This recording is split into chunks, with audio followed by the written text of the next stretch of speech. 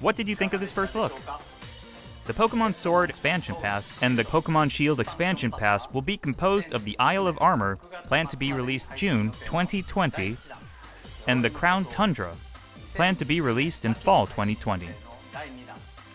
If you buy the Pokemon Sword or Pokemon Shield Expansion Pass, you'll be able to enjoy both as they're released. The Isle of Armor and the Crown Tundra are in development as we speak. So today, we'd like to show off some designs and concept art to help introduce you to these new areas. Your adventures in Galar are getting even bigger. First, let us introduce the Isle of Armor, which focuses on the theme of growth. Take a look. The next destination in your adventure is a giant island off the shores of the Galar region known as the Isle of Armor. This island is full of beautiful nature. You'll find beaches, bogs, forests, caves, and dunes. And of course, you'll find Pokemon that you couldn't previously find in Galar dwelling there too. There's a dojo for Pokemon battles on this island. And you'll take up an apprenticeship under the Pokemon trainer who runs it. This is Mustard, who will become your mentor. He's also the mentor of Champion Leon, who you probably know quite well. In fact, Mustard has occupied the seat of champion himself in the past. You'll also encounter new rivals among your fellow apprentices. When playing with the Pokemon Sword Expansion Pass, you'll be training with Clara, who is a Poison-type user. When playing with the Pokemon Shield Expansion Pass, you will be training with Avery, who is a Psychic-type user. They're both training hard so they can someday have a gym and stadium to call their own. Next, we'd like to introduce the legendary Pokemon that will be central to the story. Kubfu. It's a fighting type Pokemon that strives to become stronger with single-minded dedication. As you progress through your training, Mustard will entrust you with this Pokemon. Once you complete your training together with Kubfu, it will be able to evolve into Urshifu. Urshifu is a Pokemon with two distinct styles. There is Single Strike style, a fighting and dark type style that delivers a single strike at blinding speed. There is also Rapid Strike style, a fighting and water type style that focuses on unleashing a torrent of rapid strikes. What's more, it's been revealed that Urshifu has a Gigantamax form. Each style will have a different appearance, as well as a different G-Max move. You'll be able to evolve your Kubfu into an Urshifu in one of these two styles, Single Strike style or Rapid Strike style, during your adventure.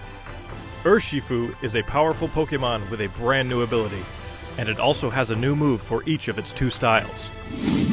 Once you've completed your training, bring it with you for some online battles or official competitions.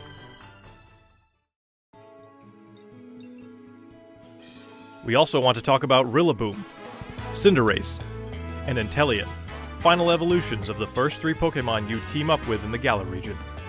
During your adventure in the Isle of Armor, these special partners in your teams will be able to Gigantamax. You can look forward to seeing their new forms and new G-Max moves. And as you can see here, we've got even more in the works to make sure your journey is as smooth and fun as possible. There are new fashion items, and you'll even be able to obtain new looks for your bike. We hope you'll look forward to the new experiences coming in the Isle of Armor.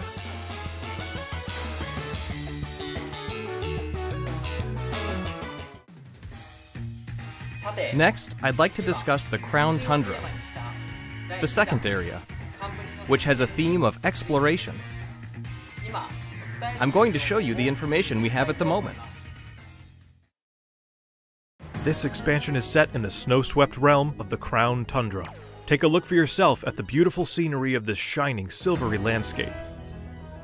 As it turns out, the Isle of Armor isn't the only uncharted area waiting for you all in the Galar region.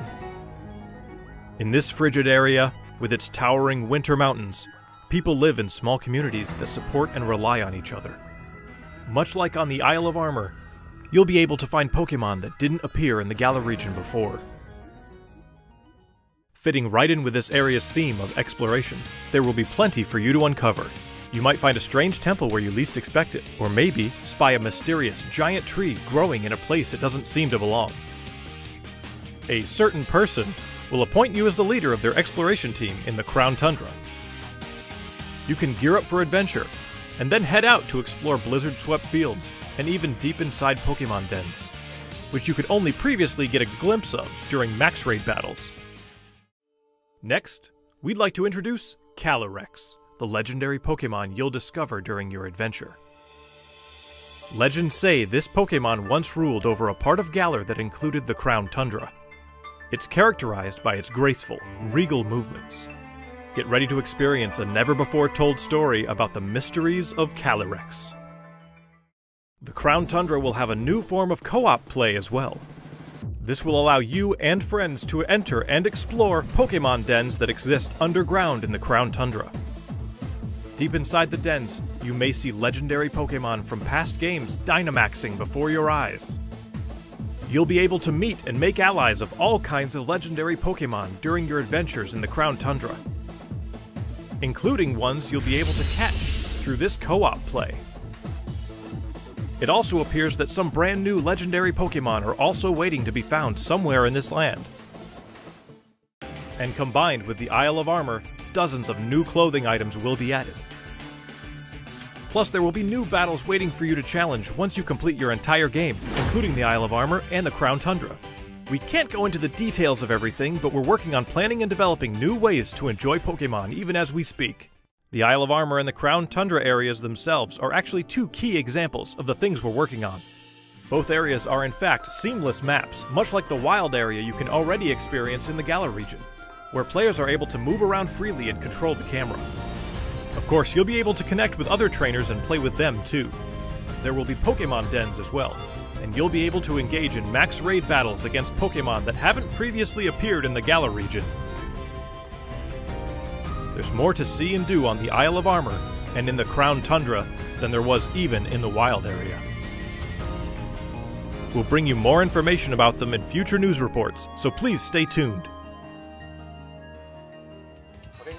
These updates will allow people who don't have the Pokemon Sword and Pokemon Shield expansion pass to obtain the Pokemon that appear on the Isle of Armor and in the Crown Tundra through other means, such as trading. Players will also be able to bring over Pokemon to their games from the cloud service Pokemon Home as long as the Pokemon appear in the Pokemon Sword and Pokemon Shield expansion packs. Pokemon Home is planned to launch in February 2020. We intend to release even more details before then, so please wait just a little bit longer. Finally, we have some more news for our Pokemon Sword and Pokemon Shield players. Starting today, it seems like you're more likely to run into Gigantamax Coalossal, Gigantamax Lapras, and Gigantamax Flapple or Gigantamax Appletun in max raid battles in the wild area. Face these powerful Pokemon with your friends. There will also be a software update going live available later today. Once you've received the update, head to Wedgehurst Station. In Pokemon Sword, you'll encounter Clara, while in Pokemon Shield, you'll run into Avery. You'll also encounter a Galarian Slowpoke that's wandered in from the Isle of Armor. You can try to catch it and add it to your team. Galarian Slowpoke can evolve into Galarian Slowbro if you use an item that can be found on the Isle of Armor, or into Galarian Slowking if you use an item that can be found in the Crown Tundra. Don't forget to check it out. feeling like a